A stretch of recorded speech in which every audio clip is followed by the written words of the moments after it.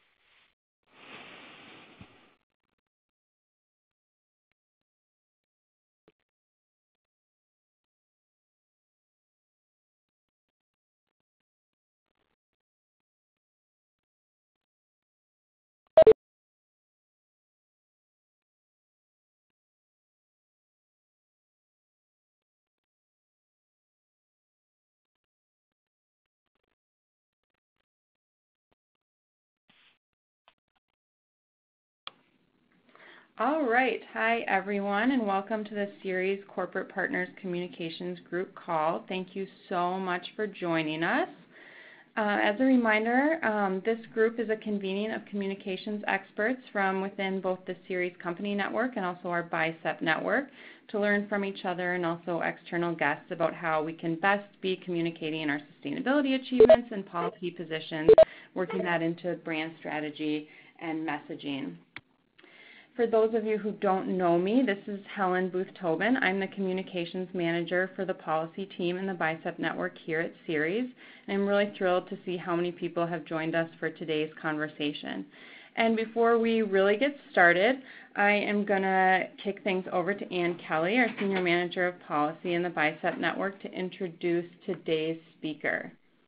Thank you so much, Helen, and I'm thrilled that so many of you could join us today uh, so many companies and so many of our Ceres colleagues as well. I'm even more thrilled to welcome back our good friend uh, Tony Leiserowitz, who joined us several years ago. And we thought it was a perfect time for him to come back and give us an update on climate change and the American mind, which is his specialty. Uh, Tony is a senior research scientist and director of the Yale program on climate change communication. He is an expert on public opinion and public engagement with the issues of climate change and the environment. Tony's research investigates the psychological, cultural, and political factors that influence environmental beliefs, attitudes, policy support, and behavior.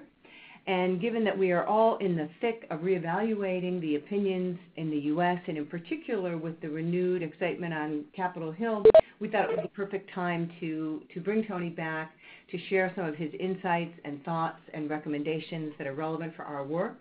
Uh, just before he starts, I'll remind you that we are uh, we have enough people on the call that we're not able to do it in a conference call fashion. You are all muted, but do submit your questions through the chat function on the lower left, and you can do that at any time throughout this session. Um, this is being recorded, so don't feel that you have to take copious notes throughout. We will be sharing the recording afterwards. Um, and so with that, let me just turn it over to Tony. Thank you so much for joining us, Tony. Great, thank you. Uh, and thank you, Anne, so much for the invitation to join you all again. Uh, let me see if I can get the technology working and display my screen. And just to make sure, if somebody can give me a shout out saying yes, it's working. It looks like it's working on my end. Um, I see your screen. Um, and if anyone has any problems, feel free to put something in the chat box and we'll troubleshoot it from there. And are you just seeing a single slide right now? Right now I see the a single slide, climate change and energy in the American mind. Perfect. Okay, great. All right. Uh, okay, and let me just minimize that. All right. So again, thank you so much for the invitation to be here. Uh, and uh, as Anne described, uh, I direct the Yale program on climate change communication. Basically, we study how do Americans and other societies around the world respond to this issue. And so what I'm going to share with you a bit is uh, our latest results from a, over a decade's worth of work um, and you'll see some of the trends in a moment. But basically we've been conducting two uh, very high-end nationally representative surveys of Americans' beliefs, attitudes, policy preferences, and behaviors around climate change and energy uh, for over a decade. Um, and so uh, we've seen some very interesting patterns emerge in recent years and even in our most recent data. And so with that said, uh, let's get into it. Um, so let's start at the at the basics. Like, do Americans actually uh, understand that this issue is even happening? And let's see if I can advance this. Okay, arrows are not working. There we go. Uh, and just to check, you have a slide now. Most Americans think global warming is happening? Yep, it's up there. Fantastic. Okay, so here's that 10-year trend I was just describing. And basically, as you can see, uh, on the left-hand part of this slide, you see back in November of 2008 when we started this uh, particular study. Uh, back then, 71% uh, of Americans understood that global warming was happening. But that dropped 14 percentage points, a really steep drop, uh, bottoming out in about uh, 2010 since then it's been kind of very slowly working its way up, working its way up until really just the past couple of years we've seen a bit of a surge until uh, over on the far right you see December of 2018. Uh, so just a couple months ago, our most recent study where we found that 73% of Americans now think that global warming is real. So hey, this is something to celebrate. It's an all-time record high, except it's only 73%. Uh, if we were in Japan, this number would be over 95%. So Americans clearly have uh, some room to grow. Likewise, uh, uh we're at an all-time high in terms of American understanding that this is mostly human caused, at 62% in our most recent survey, and importantly, uh, an all-time low, 23%, who say that it's mostly caused by natural changes in the environment but that's of course still very important, and that is a, uh, uh, that there's still plenty of room to grow on this one too, because if people think that don't understand that it's human caused, then they don't understand some of the policies that are being proposed. Like for instance, putting a price on carbon. Why would you do that? Why would you um, be trying to restrict coal-fired power plants, for example, uh, if it's just a natural phenomenon? So again, all-time record high. There's something there to be celebrated, but clearly a long ways to go uh, with basic understanding for at least some Americans. And also in relation to that is that we saw a big jump, and this is a very substantial jump, in those Americans who say that they were very worried about global warming from uh, basically a year ago, March of 2018 to December of 2018. Uh, it's very rare to see those kinds of, of jumps. And I can say a little bit more about what we think was happening there. But I also don't want to over uh, you know, sugarcoat this. I mean, yes, it's an all-time high in terms of Americans very worried about climate change, but it's only 29%. Um, and that is because, as we've found for over a decade, many Americans still think of climate change as distant. Distant in time, that the impacts won't be felt for a generation or more, and distant in space. This is about polar bears or maybe some developing countries, but not the United States, not my state, not my community, not my friends, not my family, not me. And so as a result, it seems in many people's minds as this it's psychologically distant. It's this issue that's one of a thousand other issues that is out there. Maybe I kind of wish somebody would do something about it, but it doesn't seem like a high priority. Um, so this is moving in the right direction, and that's really one of the bigger uh, points I'm making here, and I'll show that uh, more clearly in a moment. Is just these are the trends, but there's still plenty of room to grow for Americans to uh, adequately engage this issue. Um, and then back to the question of well, what happened in that past year? Uh, we think basically, and if you'll please excuse the phrase here, but it was a bit of a perfect storm. 2018 was an all-time record-setting high year for uh, billion-dollar disasters, and it came on top of 2017, which came on top of 2016. Um, and uh, and as you know, many of you remember, we had some really severe uh, hurricane damage done to the United States and Puerto Rico, which of course is part of the United States, uh, as well as of course the wildfires that were tearing apart uh, California and other parts of the American West. So that was one thing. One is that we Americans were are increasingly experiencing the fact that climate change is here and now, not distant in time and space. But here's the crucial piece of it is that people don't just simply experience extreme weather or an extreme event and suddenly go, bing, climate change. Uh, for most people, they still need someone to help interpret what's going on. Okay, someone that's literally helping connect the dots. And historically, that uh, has that role has been played by the media, because most Americans do not read the peer-reviewed literature much to the chagrin of my colleagues in science. Uh, they're not reading the IPCC reports. In fact, only 14% of Americans say they've ever heard of the IPCC, and I think many of them are lying or just simply are mistaken. Um, and they're not talking to climate scientists over the backyard fence. Okay? Most people only come to this issue, only know anything about this issue because of media coverage. Um, and so when the media does not report this issue, it's literally out of sight and out of mind. And if nobody's talking about it, how important can it be? Okay? Which is why talking about it turns out to be an absolutely critical, vital, foundational first step. And I, I can come back to that point later. Um, so what we saw in 2018 is that the media is starting, just beginning has a long way to go to get better at this, but they are beginning to increasingly, at times, when reporting on one of those extreme events, to actually include the words climate change. To, again, literally help people connect the dots between this extreme disaster that's unfolding in their front yard or on their television screen with this broader phenomenon that's of course intensifying and in some cases making these, these kinds of events more frequent. So that's also uh, part of the of the package. And of course, the other thing that happens in 2018 is the release of the uh, IPCC uh, 1.5 degree report, which got a lot of media coverage um, because it basically was telling us we've got very limited time now to uh, hold the climate within one and a half degrees, which is would be a relatively safe space compared to two, let alone three or four degrees. Um, and we also saw the release of the National Climate Assessment, this congressionally mandated uh, report by the federal government scientists of the state of climate change in the United States. Um, that itself was a very important re, uh, report with ever more um, uh, you know, warning signs in it. But of course, I had the additional uh, uh, factor of that the Trump administration decided to release it on Friday, the Friday after Thanksgiving.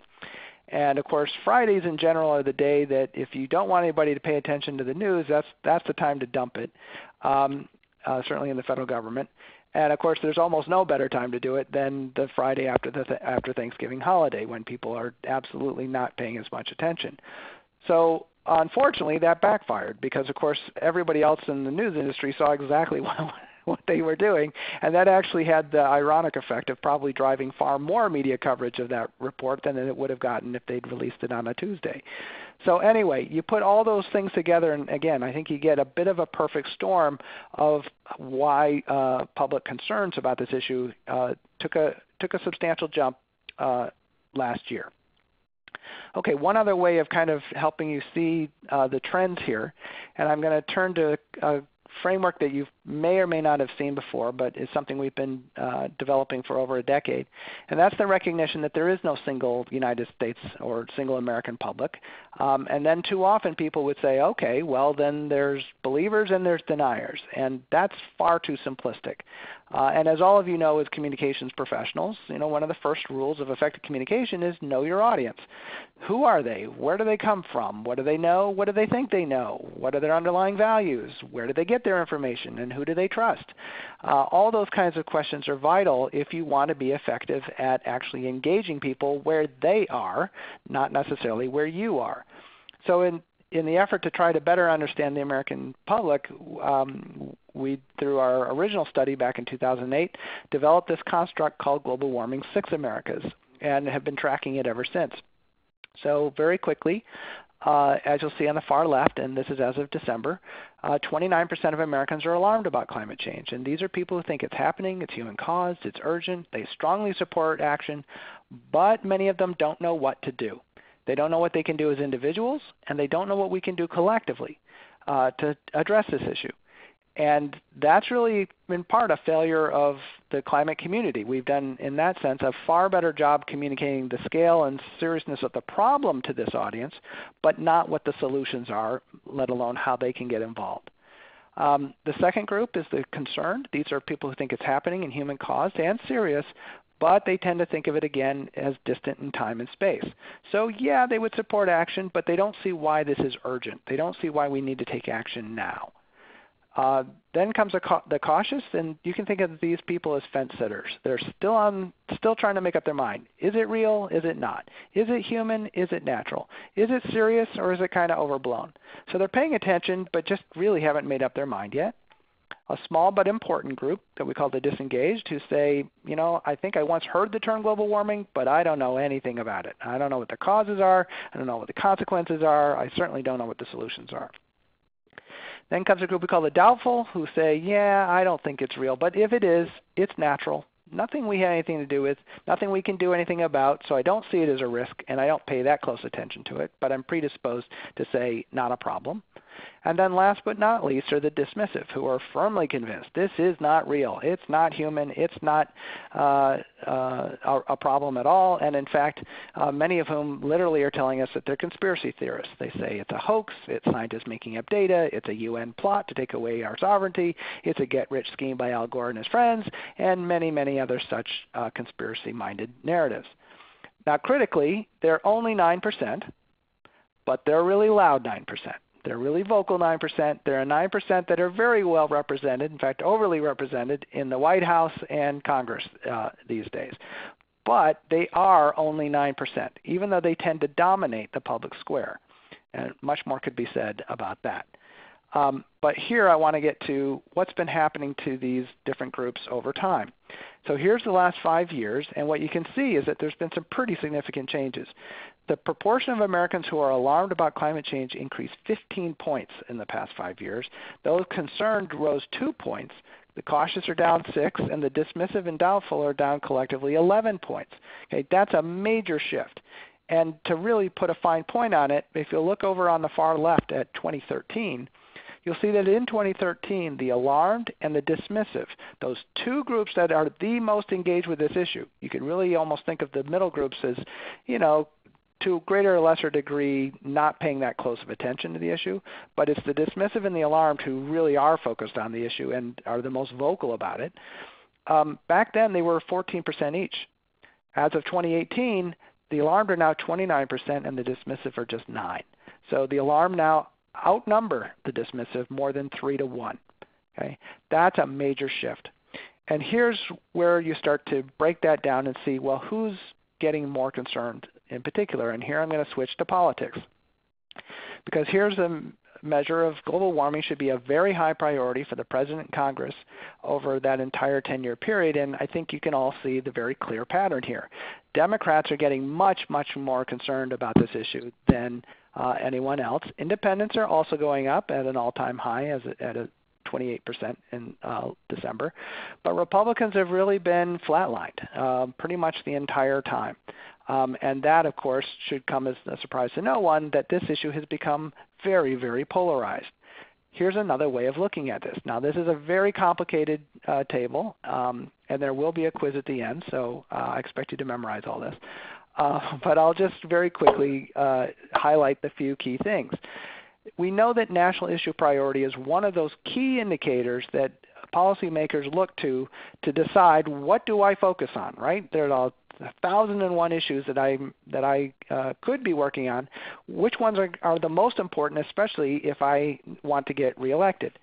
And so uh, climate change has traditionally been uh, a pretty low priority. Uh, here is a measure that we could, uh, conducted back in the primary season just a year ago uh, in the run up to the 2018 congressional elections. And we asked, how important will the candidate's position on the following issues be when you decide who you're going to vote for in 2018?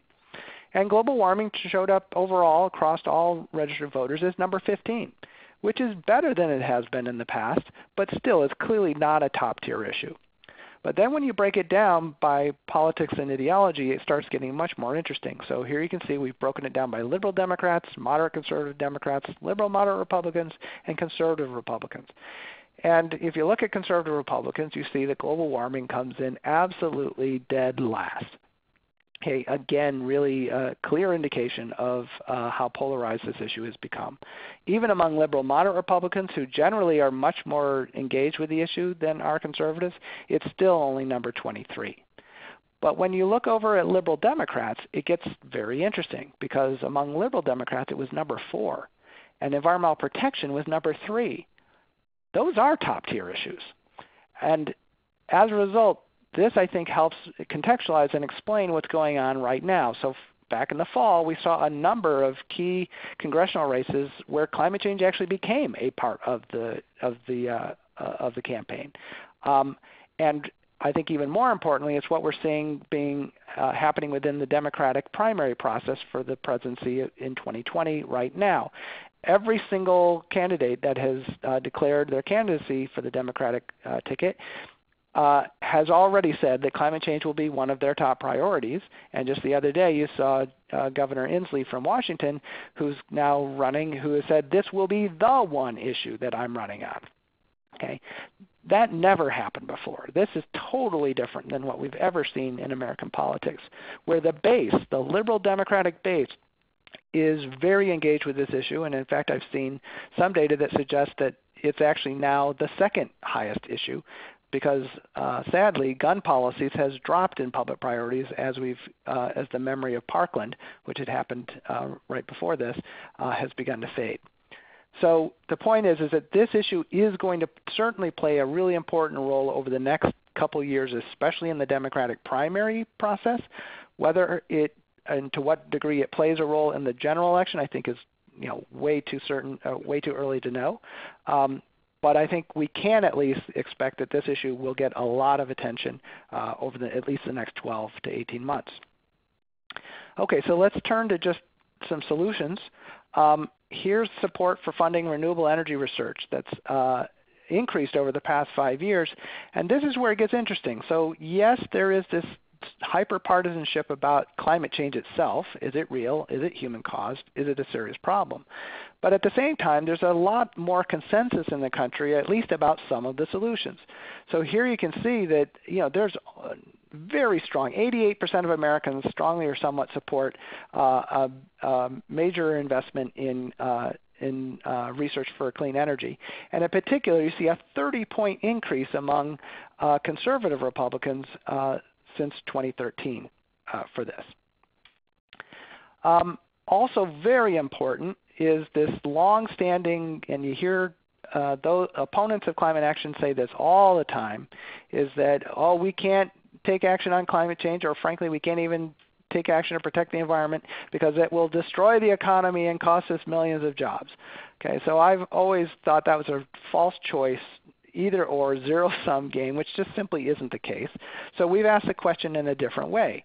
Do you think that government policies intended to transition away from fossil fuels towards clean energy will improve economic growth and provide new jobs, reduce economic growth and cost jobs, or have no effect on economic growth or jobs? And what you see is that overwhelmingly Americans believe it will improve growth and jobs or have no effect less than one in five Americans, just 18%, say that it will actually reduce growth and jobs. And that's true across the board, even among conservative Republicans. 60% of them say that it will either improve growth or have no effect. Only 40% of conservative Republicans actually buy into the notion that it will harm the economy. So that's just to say is that of course there are, are always going to be trade-offs in very specific cases. But as an overall uh, value, as an overall attitude, Americans are pretty strongly convinced that this is all good for the economy. So we shouldn't be afraid of, of leaning in to uh, that argument. Uh, and of course, the Green New Deal has gotten tons of attention uh, in recent months. And so this is actually a question we asked back in December before uh, you know, before AOC and Markey had released anything, before there were really any details at all. And so we wanted to see just at that early, early stage, um, how did people respond to the basic principles that were at least being talked about then? And what we find is that overwhelmingly Americans say that they like at least the aspirational goals uh, that we described. Um, with 81% of uh, all registered voters saying yes, they support those goals, and only 18% opposed. And that's even true among conservative Republicans.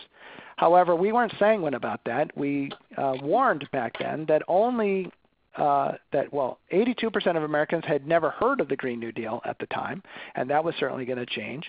Uh, and moreover, there's no way these numbers were going to stay this way because the attacks hadn't even started yet. And of course, we're seeing lots of attacks on the whole notion of the uh, Green New Deal, which seem to only get crazier and crazier every day. I mean, uh, not only now is it about you know uh, banning the hamburger and all and all transportation, but the latest I, I saw somebody actually argued on Fox that uh, the Green New Deal will lead to cannibalism. Uh, go figure. Um, uh, I didn't know that, but good to know. Thanks.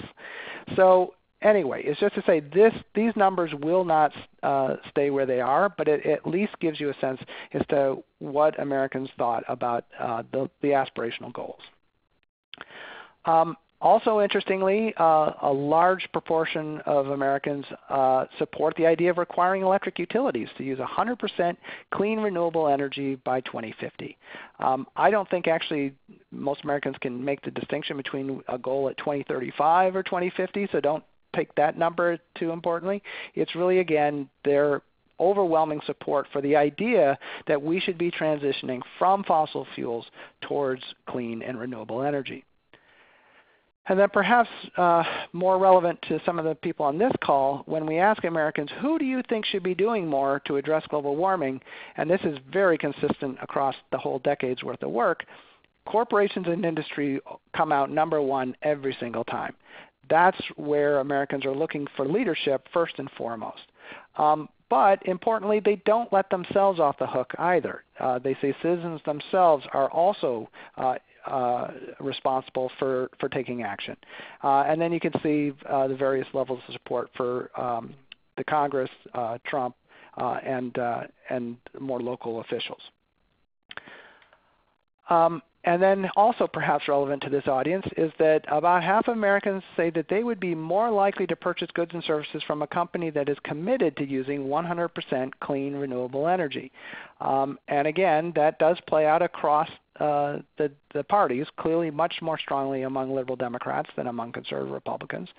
Um, and while we did not ask the question, a follow-up question in this one, I can almost guarantee you that when asked, if we had asked, why don't you? Okay, and this is questions we have asked in the past. Why don't you reward companies this way? Or alternatively, why don't you punish companies that are standing in the way of climate progress? The overwhelming number, number one answer, and it's by far, is very, very simple. I don't know which companies to reward or punish. Okay, um, and I think I've said this on earlier calls uh, that I've participated in before. You know, I'm not, I don't walk in your moccasins. I don't you know, I, I'm not uh, working in a corporate uh, environment. But if I were looking at that as a CEO, um, uh, that would either make my you know my mouth salivate or my knees quiver because you're either on the right or wrong side of that, and I would be worried about two uh, two groups in particular. One is environmentalists, because environmentalists may not have a lot of credibility when it comes to describing, let's say, the natural security threat of climate change or the health threats of climate change. Most Americans would like to hear from that, hear about that from a doctor wearing a, a lab coat and a stethoscope around their neck. But when it comes to naming, blaming, and shaming companies for their actions, environmental groups have enormous credibility uh, among the public. So I would be afraid of that group uh, in particular, but there's another group I would be even more afraid of, and that is, of course, my competitors, because most companies are in very competitive uh, spaces, and there's a spectrum of sustainability and uh, carbon reductions across that sector.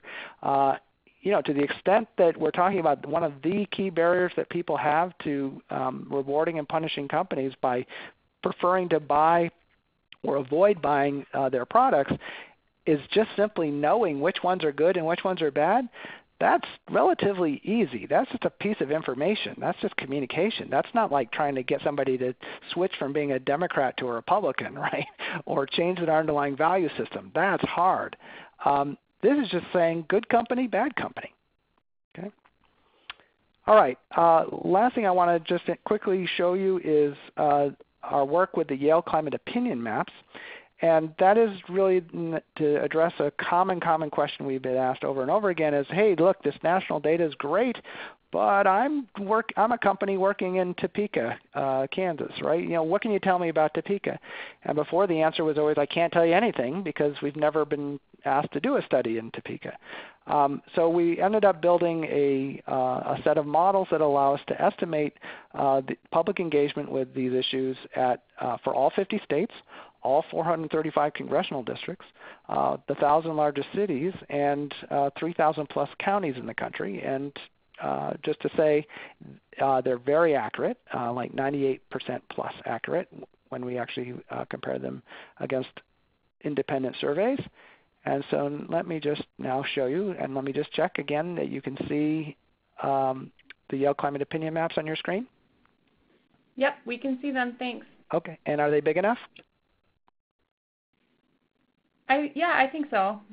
Okay. Of course, if anyone um, is having trouble seeing, um, send a note in the chat box and we can fix it. Okay, I just made it one uh, one size bigger.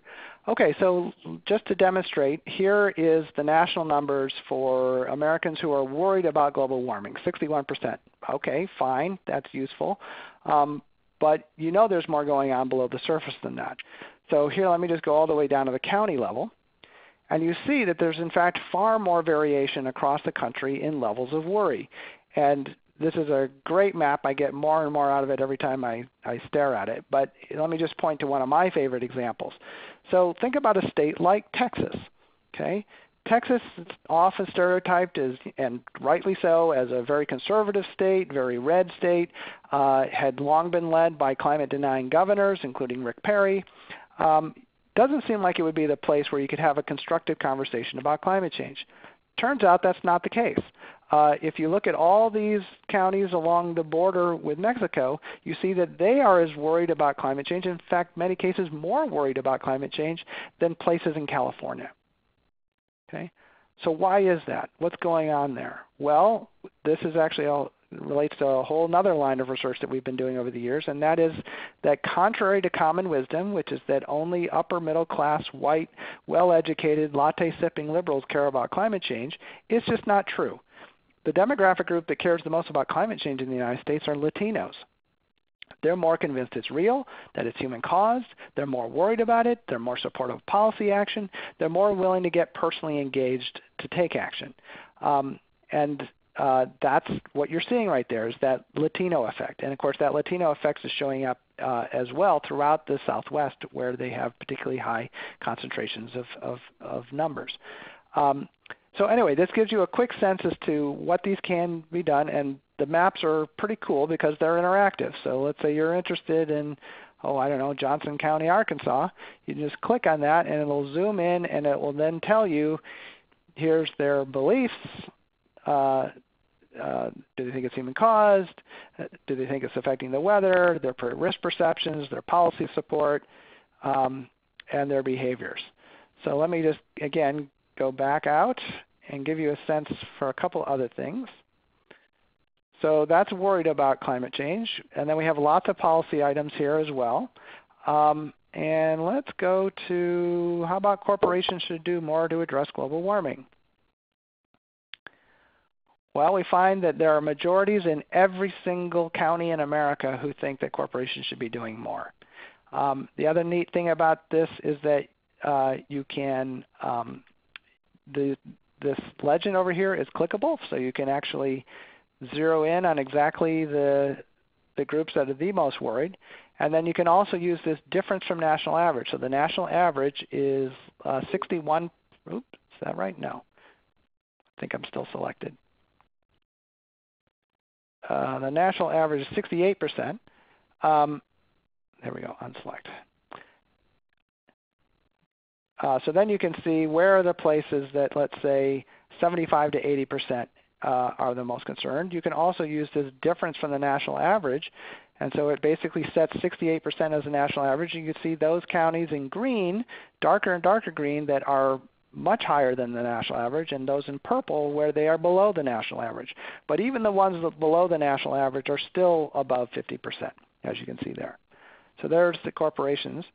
Um, but here's the last one I want to at least talk about is how often do people actually talk about this? So first is how often do they hear about it? Let's go back to this. And you see that people say they rarely hear about this uh, in the media at least once a week, only 22% nationally. And when it comes to discussing global warming, it's only slightly better at 36%. Okay?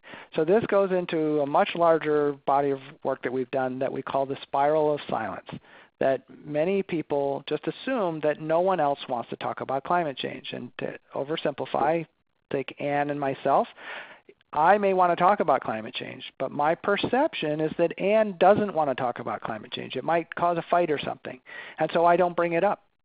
Meanwhile, Anne actually is interested in talking about climate change, but her perception of me is that I may not want to talk about climate change, so she doesn't bring it up either. And because neither of us are talking about it, we get deeper and deeper into this downward spiral of silence where nobody's talking about it. Um, that is still an absolutely critical thing that has to happen in this society is that we talk about this. And you can look at many just you know recent uh, uh, social movements. Uh, think of Black Lives Matter uh, and the Me Too movement as just two great examples of these are not problems that are new. These have been going on for hundreds of thousands of years in some cases. Um, it's just that we're now finally surfacing them and talking about them in hopefully sometimes at least constructive ways. But the point is that people are increasingly uh, uh, conscious that in fact these issues are real and that there are real discrepancies and, and uh, injustices being, uh, being done in this country. That's the power of talking about it. Um, so with that, I'll end and we'll open it up for questions. Wow, that was just absolutely fantastic, uh, Tony. And I, I couldn't help myself. I had to uh, indulge in this last set of slides because it was so interesting. I, I did go on to your webpage, and if I understand correctly, this sounds like it's open source, and folks can go on and use this map uh, at their leisure. Your client, your Yale Climate Opinion Maps. Is that right? That's correct. Uh, all open source. So just come come to Yale Climate Opinion Maps, or alternatively, uh, just Yale Climate uh, Yale program on climate change communication, and you'll see uh, all of our work is available.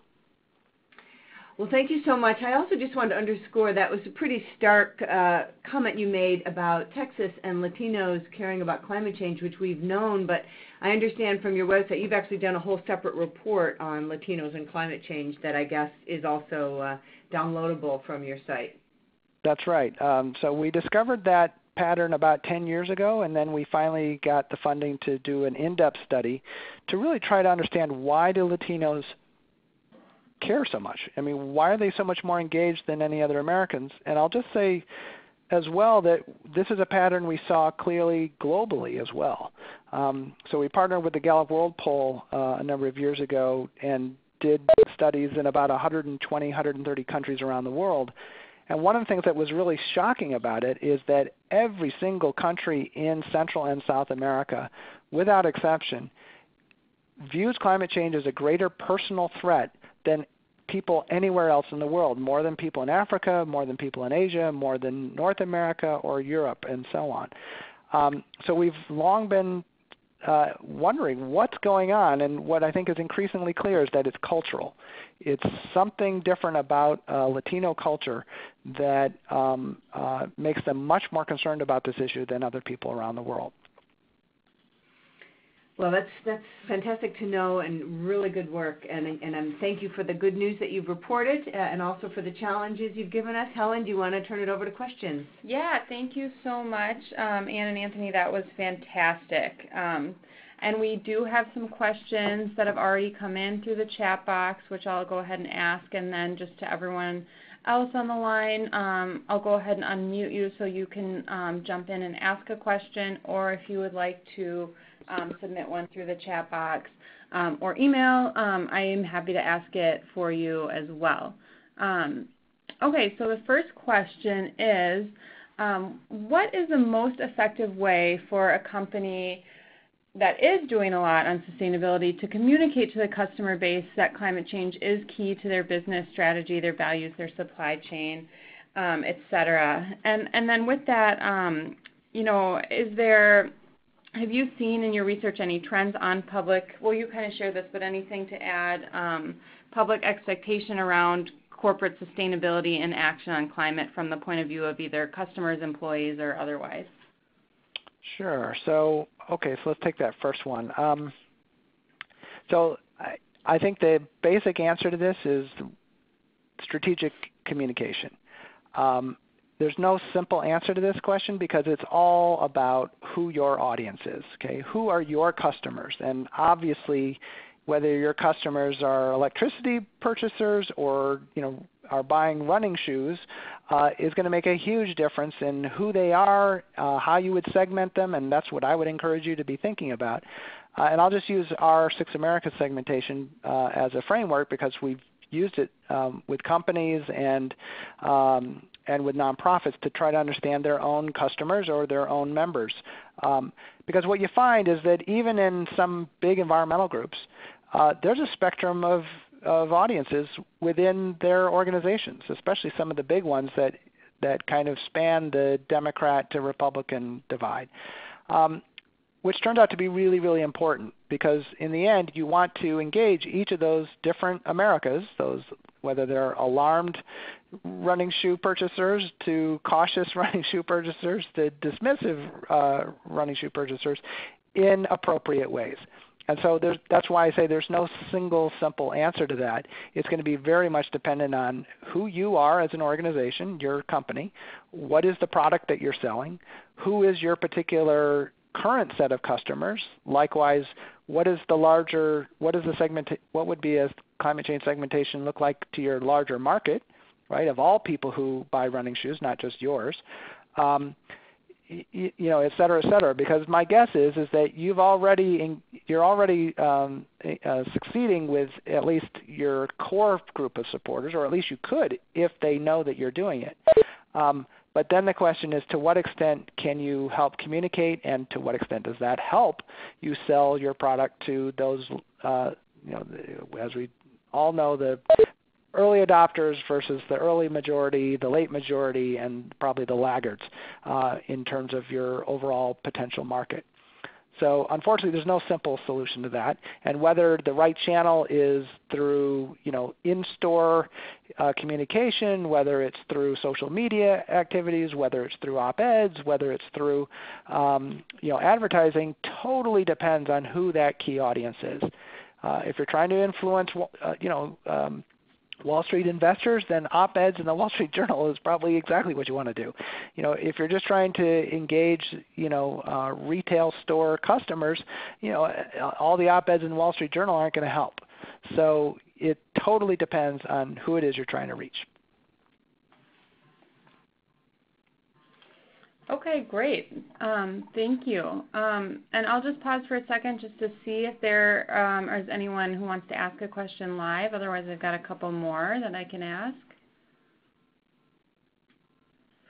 Um, okay, so I'll go ahead. Okay, so recently we've seen companies step out on social issues. Um, for example, the recent Nike ad, Crazy in Women with Serena Williams, or the Gillette Toxic Masculinity ad. However, when it comes to climate action, a few companies have placed ads highlighting their sustainability efforts specifically by showcasing their renewable energy purchases. But for the mm-hmm. most part, can't really think of a bold example of a company coming out for strong climate action. What can you share from your research that the time is indeed now for companies to take bolder steps on communicating that they stand behind climate action or sharing their sustainability story that can really capture the urgency for action right now? Well, I think the bigger thing is those trends I was showing earlier. So let me go back to that uh, right here. Hopefully you can still see that.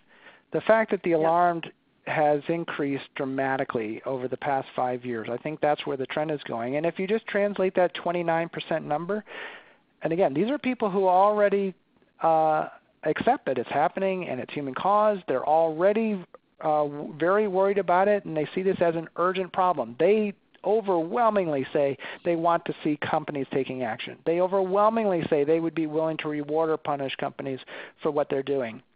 Um, these are people who are also overwhelmingly willing to get personally engaged to demand larger political action. Um, the alarmed as of December are now 73 million Americans. Okay, that's a lot of people. That's a big market signal. Um, and so um, I would look to these kinds of things. Now, look, in the end, as a if I was doing advertising, let's say for a company, this is where testing is absolutely vital, right? What kind of message is actually the one that's going to engage your potential market within, say, the alarmed? And I would start with the alarmed because uh, they're the ones who are already basically you don't need to convince them of anything. They're they're looking for ways to uh, to basically vote with their dollars. Uh, the concerned um, are also kind of willing to do so, but they don't yet quite see the same value proposition. The alarmed, it's about satisfying their their core need, their values-based need to take action and to and to feel like, and I would say this is really important, looking to companies increasingly not just as the provider of a product or service, but as a partner that will help me become more environmental myself. Okay, as a customer, I want to uh, to be loyal to a company that I see as somebody who's helping me and I can help them as well uh, reach towards that those larger sustainability goals. So, and this is really you know broader shifts that are happening within the marketing space that you all know far better than I do.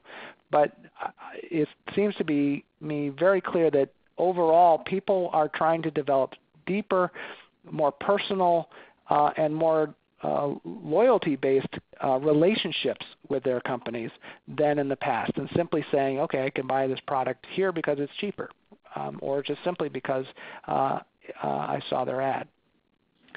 Um, and I think you are seeing a few companies that are already ahead of the curve here. So, you know, perhaps unsurprisingly, there's Patagonia who's way ahead of the curve, where they're not just asking their customers to prioritize these issues, but are actually working as a company to connect their customers to uh, advocacy groups on the ground in local communities uh, who are taking action to protect the environment. Um, that's a much different uh, approach than I think I've ever seen uh, companies take. And I'm not saying every company is going to should or or would be willing to do such a thing, but it is to say that um, I do believe there's a, a strong um, core of, of base support essentially within the climate space that uh, are looking for support and are willing to reward those companies that they see taking leadership. Okay, great. Um, and I think um, I can. I'll do one more question and um, kind of combine a few. So one thing that we work really hard to do with our network is to build bipartisan support for climate change. And as you showed, there seems to be, in some ways, a real gap between public opinion on climate and federal policy action on climate. Do you have any thoughts based on your research?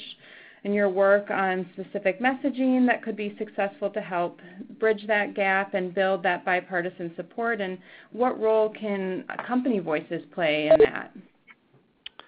Okay, so this is one of the big challenges. Um, so again, it comes down ultimately to values. That how can um, conservatives in particular who, and really this is deeper than climate change itself, what we see that one of the main um, barriers to Republican engagement with this issue, and I'm leaving aside fossil fuel money and you know the buying off of politicians and all that kind of stuff. Put all that aside. On a values level, is that many conservatives are suspicious, if not hostile, to the issue of climate change because they see it as uh, the only solutions they tend to see are those that seem like they're about growing the size of government. Because long before climate change came along, there was this larger discourse, and frankly, it goes back to the very founding of the United States and before, which is this struggle we've had in this country over what is the proper role of government in a society of free individuals. Okay, um, we have been trying to work on that question for literally hundreds of years. Um, and those lines had been drawn long before climate change came along. And for many of the people who are the most dismissive of climate change, in fact, we see this very clearly, is that the, the academic term we call this is solution aversion. That when they see climate change, first of all, being promoted as an issue by people they don't like or trust, and let's just insert the name Al Gore here, for example, um, first of all, the messenger is often more important than the message. So if they see that this liberal politician who they didn't vote for and they've never liked is pushing uh, climate science, people just aren't very good at saying, you know, he's an idiot when it comes to politics, but when he talks climate science, he's really making a good point. I mean, human beings are just bad at that. Um, but the other is that many of the solutions they hear about are ones that seem to be all about growing the size of government and more taxes and more regulation and so on. So, uh, and that's what's I think been so interesting in this uh, in the trajectory and the evolution of this issue is that you're now hearing many, many more voices from hardcore conservative uh, right perspectives saying actually there are free market solutions to this issue. There are ways of addressing this that don't require bigger government or more uh, regulation that we believe, and this is them their argument, uh, will be far more effective and much more cost effective than some of the things that you're hearing from, uh, say, liberal Democrats that when people begin to hear that, they, I mean, you would think logically that people need to accept the existence of the problem before they're then willing to talk about the solutions. It turns out that at least in some cases, it's the opposite. That if you hear a solution that you actually are comfortable with, then it makes you more likely to accept that the problem is real. Okay? Because go figure, human beings aren't always logical. Um, so I think that's where we're starting to see some really interesting things happening where, and, and if you look at Congress right now, you're seeing a number of Republican members of Congress, sitting members of Congress, beginning to essentially poke their heads out of the foxholes that they've been hiding in for the past decade and saying, okay, we got it. Climate change is real. It's human caused. We know we need to deal something with it, but we're scared by the, you know, the, the uh, proposals that we hear coming from the left, we think we've got a better uh, solution to that. And to the extent that that message gets heard and taken up, then finally this country can move on to the real debate we should have been having all along, which is how do we want to respond to this issue, not the stupid question, is it real or not, um, which for too many years we've been stuck at. Well, thank you so much for that um, that last answer, Tony, and also for reminding us, um, you know, the historical divide around the size of government that has been with us forever. I really like where you took this in the last few uh, minutes because it, it's just it's spot on in terms of what our corporate advocates are working toward, which is very specifically working with Republicans to try to move them toward a solution. And I wonder if you have concerns about what you the, the last comment you made. I mean, I think we are probably um, somewhat guilty of leaping to the economically viable solution um, and not spending time on the problem in certain states where I won't mention names, but where this is just a little bit more difficult. There are states where it's much easier to just talk about clean energy and not mention the words climate change. Uh, we work mm-hmm. with the Conservative Energy Network, for example, do you see liabilities associated? I know you know this issue intimately, and I suspect you've thought about this. Are, do you have concerns about eh, that approach where you're really focusing 80% of your energy on the economic benefits and job benefits of clean energy and right. the solution potentially of pricing carbon and we, you know, market-based systems without diving into all of what we know now about the problem itself? Yes, a great question. And again, there's not a simple answer to this because context always matters. You know, who are you talking to, at what point, and what do you hope to accomplish? So I think there are definitely times and places where it doesn't help to talk about climate change, or certainly not to lead with climate change. And in those cases, you know, as, as I've shown, there's a strong social consensus already around clean energy. That said, I think it's also a, a large strategic mistake to adopt that as a, as a strategy as opposed to the occasional tactic. Okay, and that's I think we've got to always be careful not to let a tactic become our strategy by default. Because the larger strategy is that the fact is is that we've dilly-dallied now for three decades on this issue. And you know, the longer we've waited, the harder it gets, and the more strongly and more boldly and more ambitious we're going to have to take action.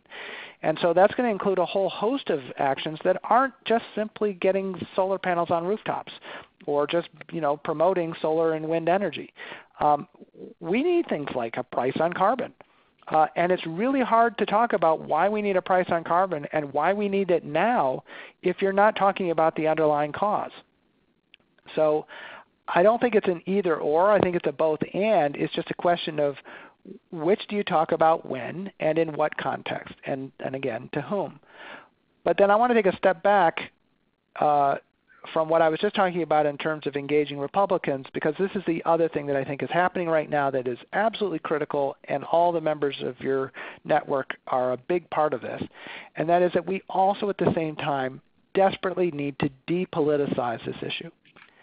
And I think one of the most exciting things happening now is the fact that so many new voices are emerging to say, you know what, this is not just a scientist issue. This is not just an environmentalist issue. This is not just an issue for liberal Democrats.